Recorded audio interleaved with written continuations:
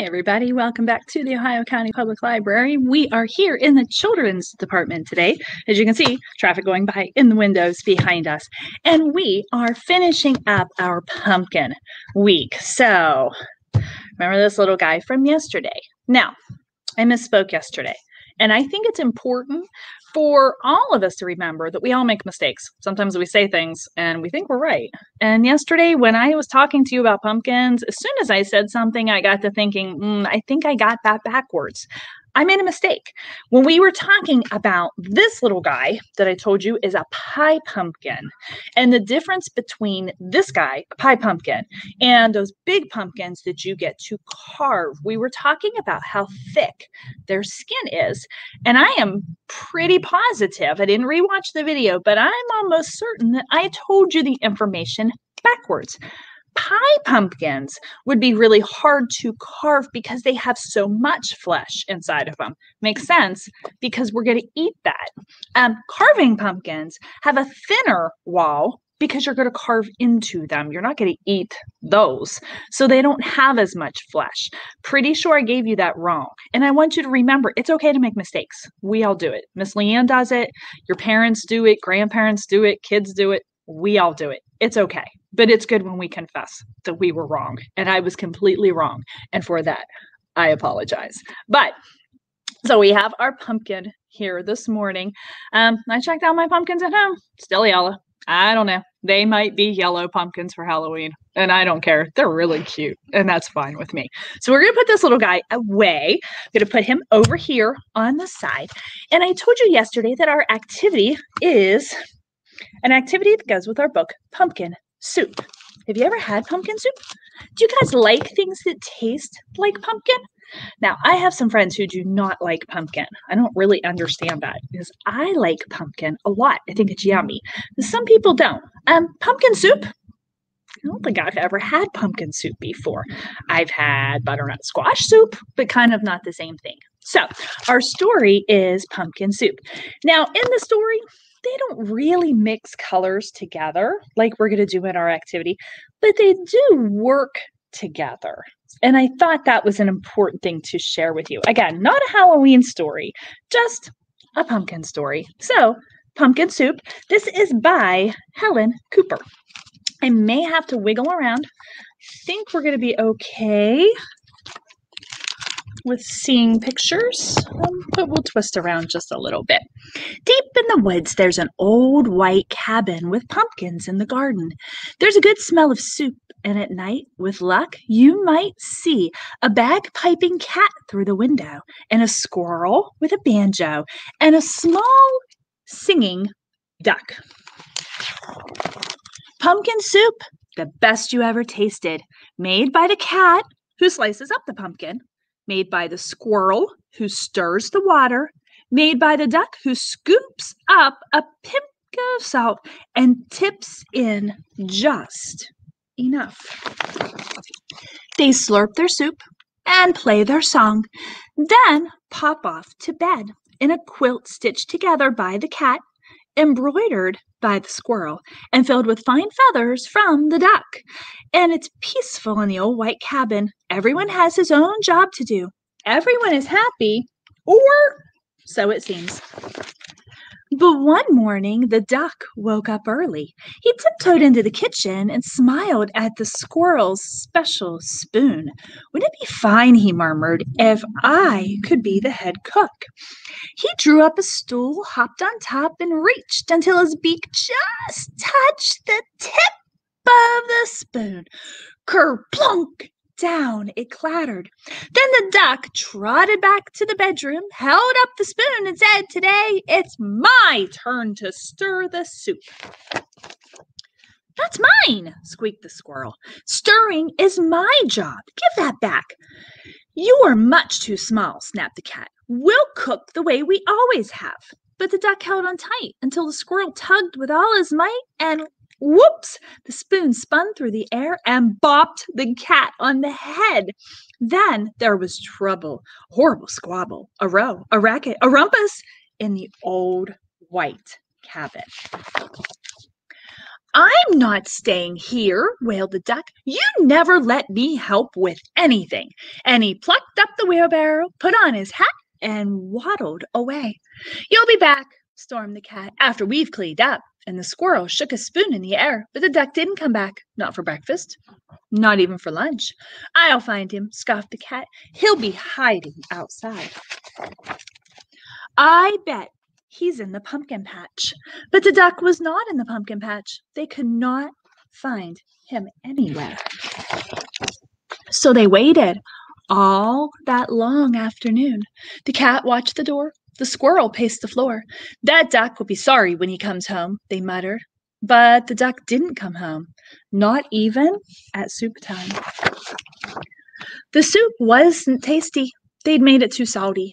They didn't feel hungry anyway. They both sobbed over supper, and their tears dripped into the soup and made it even saltier. We should have let him stir the soup, sniffled the squirrel. He was only trying to help, wept the cat. Let's go out and look for him.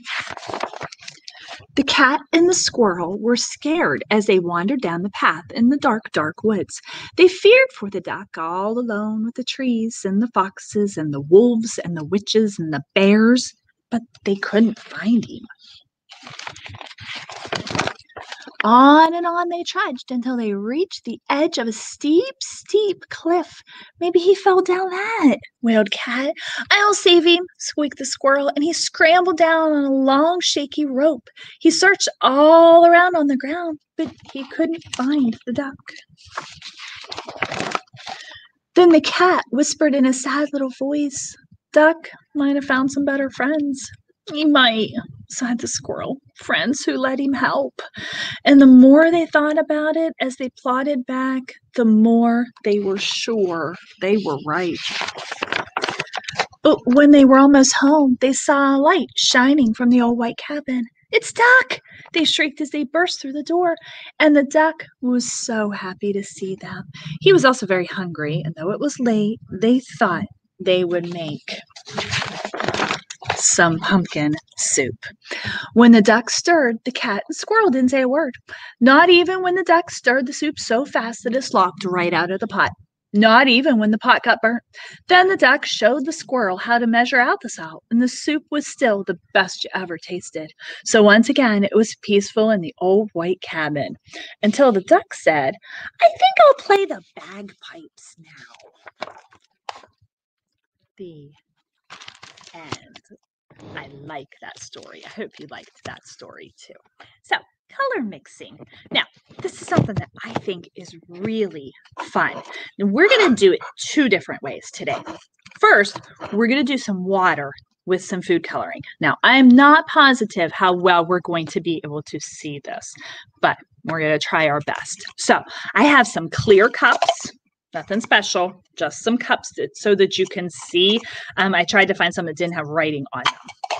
I have water, just plain old water, nothing special. And I have some food coloring. So the first thing that we are going to do is we are going to put out three cups and we're going to put some water in each one. Now, why three? Because we have three colors that we are going to use to make all of our other colors. And they are called primary colors. You guys know what the primary colors are? There are three colors that we need to make every other color. And those colors are red, yellow, and blue. If you have those three, you can mix them to make any other color. So I am going to take our food coloring and we're going to be careful with this because it does stain. So we don't want to get it on anything. I'm going to take my cup and I'm going to do, what do you think? Three drops? Let's try three. One, give it a little squeeze. Don't squeeze hard. If you squeeze hard, you're going to get a lot. Mm. Now that's one. And I just have a plain old spoon to stir with. Hmm. That doesn't look too bad, does it? So let's try two drops instead of the three that we talked about before. Okay, so I think that's a pretty good red. So we're going to put that cup down. We're going to go to our next cup.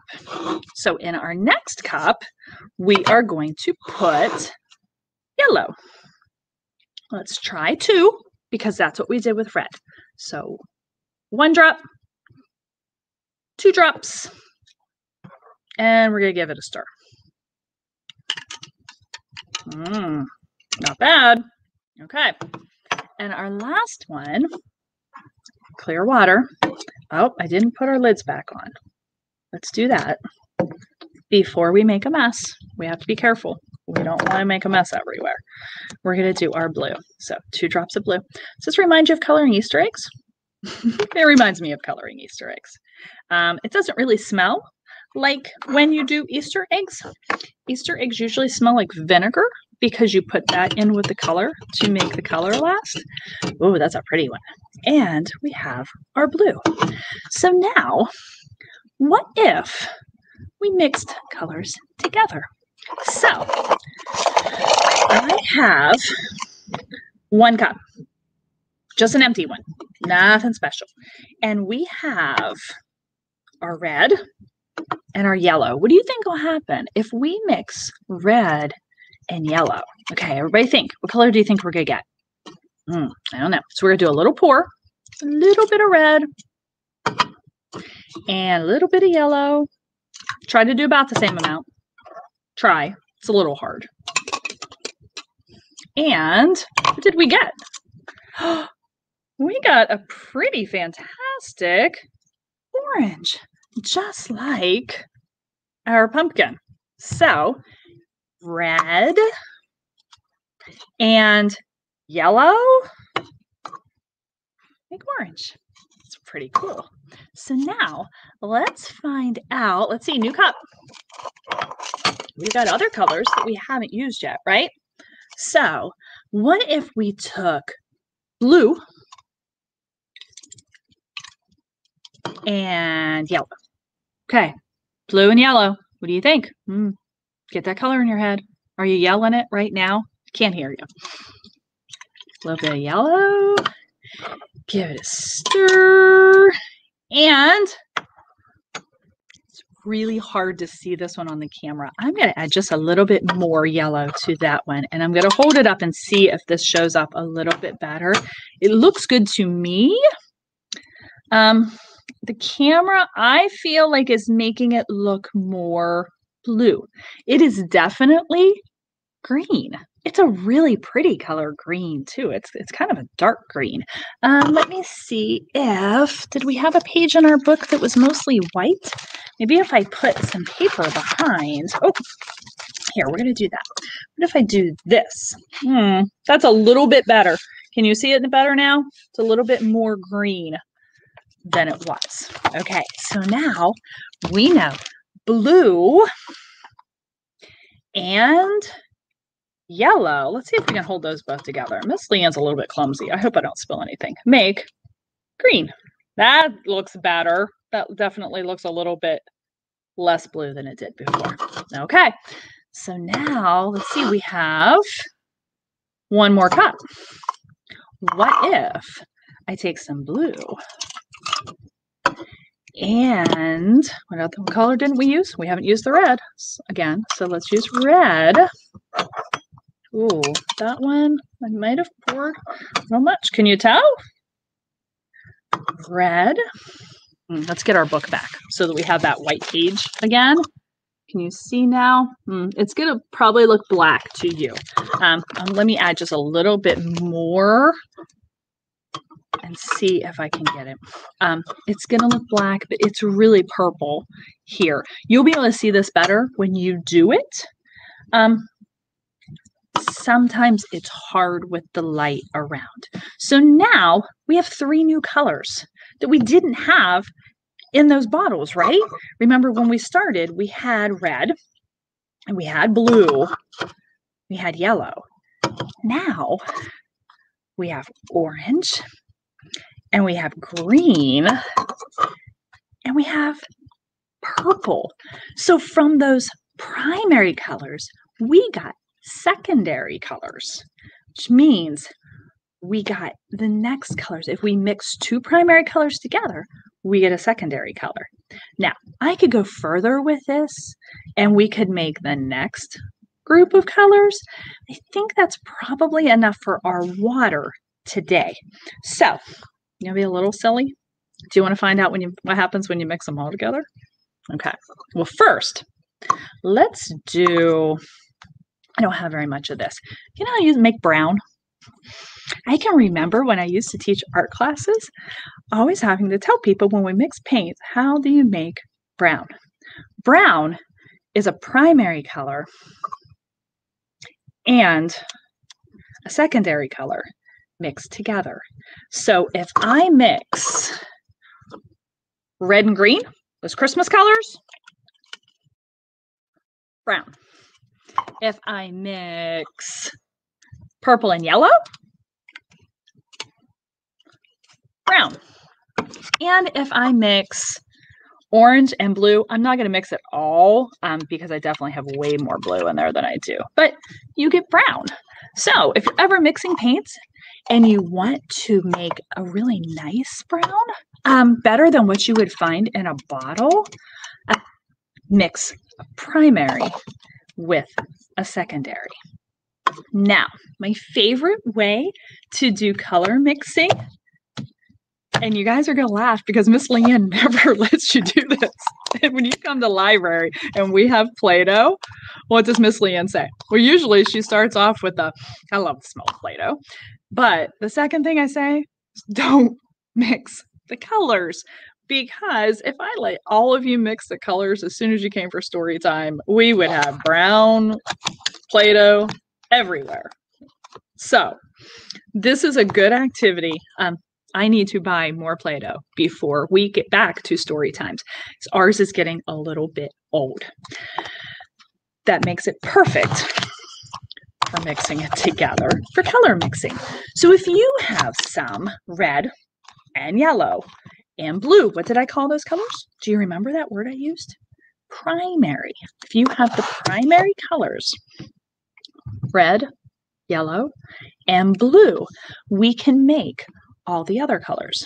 So I'm going to take my blue and I'm going to just kind of break it up into smaller pieces. So let's just divide it in half. How's that? Okay, we'll do that. So we have blue. This is a fun way to make a color wheel. We have our regular blue, and we're going to leave this one. We're not going to mix this guy together. And then I'm going to take this other half. So I have two. I had one. I divided them in half. So now I have two. And of those, I'm going to divide it in half again. So I have two little, um, about the size of a pea, maybe a little bit bigger than that, balls of blue. I'm going to do the same thing with the other two colors. So I'm going to divide my red in half. One half I'm going to put to the side. The other half I'm going to divide up into two little pea size red balls and my yellow.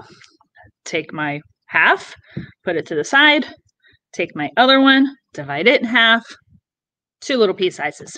Okay, you want to do them the same order we did the last group? Okay, so now I have two little yellows, two little reds, two little blues. Let's take one red, one yellow, and mix them all together. How many of you are yelling at Miss Leanne's letting colors be mixed together in Play-Doh? I know. Um, and you kind of have to work them pretty hard because we don't want it to look um, kind of marbled. I want it to be pretty solid. So keep mixing, keep mixing. And we get, you already know what we get. We get orange. So we have red and yellow, and now together we have orange. So I'm going to put that over here with our other colors. Now let's take a blue and a yellow. That's I think that's the order we did the water in. So let's mix those two together. Blue and yellow make, remember? Green. Okay, so keep a mixing. Keep squeezing them and squishing them together. Enjoy that Play-Doh smell. And, oh, almost got it mixed. Still a little streaky, but that's okay. And I think I had just a smidge more blue than I did yellow. Um, but there's our green. So we had blue and yellow mixed together makes green. And let's see, now blue and red and mix those together. Now, I know when you've come to story time, we've done this with finger paint. Um, we've done this with paint in a Ziploc bag that we squeezed. Now we've done with water. We've done with Play Doh. There's lots of different ways to experiment and learn about mixing colors together. So this one, my red and blue, must be really popular because this one's getting a little bit hard to mix. It's getting, our Play-Doh really needs replaced. But for right now, it's just Miss Leanne hanging out here talking to you online. Since there's not kids in the building, we're going to wait a little while. That way, when we do get back for story time, she'll have nice, fresh, newly opened Play-Doh. Okay, so there's our purple. So we had red and blue, and now we have purple. And I can hold them all. Let's see. See if we can shift this so you can see them in my hand. So we have our red, yellow, and blue. Let's move these guys out. Okay. So right there, let's see. Okay. Trying to see them on the camera without them rolling all around on my hand. Between the yellow and the blue, we're to put that green one. Between the red and the yellow, let's put that orange one. And between the red and the blue, we're to put the purple one. And you just made a color wheel out of some everyday Play Doh that we have hanging around the children's department. So I hope you enjoyed our color mixing activities for today. It's a fun thing to do, but you do need some big people to help you. Remember, I said the food coloring, it's really easy to stain fingers and clothes and counters and floors and all of that kind of stuff. Cats. you just never know what you're going to get food coloring on that you shouldn't. So always do this with a big person. The Play Doh, I would feel better if you would ask a big person if it's okay if you mix colors together. Because sometimes big people like Miss Leanne don't like you mixing the colors together unless it's for a special reason, like learning how to mix colors and learning about the color wheel. But a little less messy. So, those are our activities for today. Don't forget, we have an announcement coming tomorrow about our virtual Halloween party. Information for that should be appearing on our website soon. Um, it is not quite ready to go on the website yet, so it may not be on the website when I post the video tomorrow. No, it's coming soon okay don't don't worry about it if you watch the video and then you get on the website and you find out it's not there it's okay it's coming it just might take a little bit of time so announcement about that coming i also have some new children's books out we're going to try to do a video. I'm not positive I'm going to get to it this afternoon. I've got some special things to pull for some of my special friends um, who need some books. So, because of that, I may not get to film a new book video until Friday, but that gives you something to look forward to. So, maybe on Friday afternoon, we will do a nice little video about all of the new stuff in the children's department. Don't forget that now we are open to appointment. So if you want to come in and look around, if you want to come check out those new things, um, if you want to come check out the Vox books or the other new items that we have here in the department, you can make an appointment. Let me click over here and get our information up on the screen so you can see it. To visit the library, you can call us at 304 232 0244 to set up an appointment. You can also do that by emailing us. If you go to ohiocountylibrary.org, click on the Ask a Librarian button, you can set up an appointment that way. We still have curbside. So if you don't have time to come in or if you don't feel comfortable coming in to look around yet, we understand. You can let us know what kind of books you want. I will pull them for you or someone else here at the library will pull them for you and we will deliver them right to your car in the parking lot. So, couple reminders video tomorrow about the Halloween party. I'm excited. So that'll come tomorrow. Video on the new items here in the department Friday afternoon. Information about the virtual Halloween party maybe by the beginning of next week. Let's not rush it. But those things are coming up. I will see you very, very soon. Thanks for joining me today. Bye bye.